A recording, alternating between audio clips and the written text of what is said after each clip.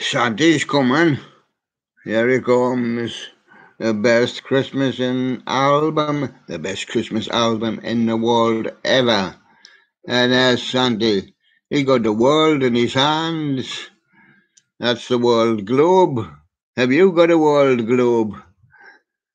He's got his socks hanging over the fire. Let's hope they're clean socks. If they're uh, sweaty socks, poo, there'll be an awful smell like roast chestnuts. got his hat on.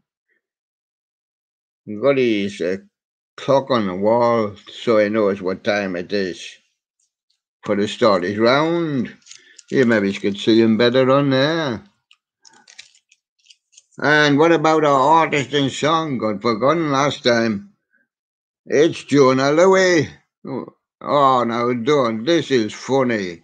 Look, Jona Lewie's going to try and stop the cavalry again. Go. Boom. Nah, I'm afraid it didn't work. Jona Lewie's been flattened by the cavalry. He couldn't stop them. Sorry.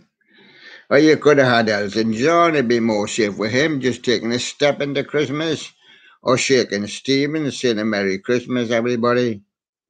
But that Jona Lewie would try to stop the cavalry. He's tried on a few times, and every time he's been flattened. They're going to pick him up and take him to the William Hospital now. Poor, nothing left of him. It's all right. He's not dead. He only got knocked down by horses. Jona Lewie, stop the cavalry.